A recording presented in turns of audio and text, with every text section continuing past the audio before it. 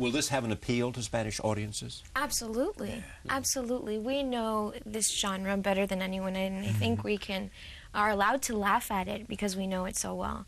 So I think um, it's it's an homage. It's an homage. and It's an homage to those kinds of that kind of movie making, so the audience is going to love it. I think You- so. You, you, you're treating well what we love. exactly. And speaking Spanish, you, you get like uh, more than, than actually you would get more than speaking English in the movie because you understand what Armando is saying and the, and the dialogue is just like unbelievable. I, I, I speak in this very formal Yes. usted form that the type like you know that you teach in a Spanish class. It's very stilted and like, "Hello, my good sir, how are you?" and uh, so, in fact, that was we constantly had you know people you know script supervisor people on the set going, "People don't talk this That's way." we're like, "I know, talk." keep it, keep it. We want it to, to sound clunky and Yeah, awkward yeah. and." Uh, It has to, comedic to value. go up against the slang and the and the you know the way these Yeah, yeah, yeah. you guys speak, yeah.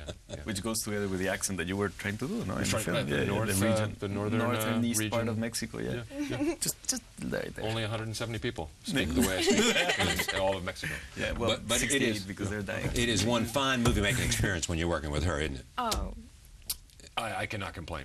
Yes. No. No. Ge- thank you. Genesis was our first actress to come and read for the part, and You she said what? uh, We said, Stop it. Get her out of here. Come on. You said, I, I, Give me a break. I come, I see, Yeah. I want. Let's Yeah, start again tomorrow. Let's start the right way. Uh, no, but Genesis walked through the door, and, And you said? and here was this obviously beautiful actress who, Right. but then gave one of the no joke, one of the best auditions I've ever seen in terms of delivered the lines, you know, perfectly straight. Right. Started crying at one point on command, and, and we were just blown. We were like, "Who is this? Who is this person?" Wow. And, and Did you think this was a great audition?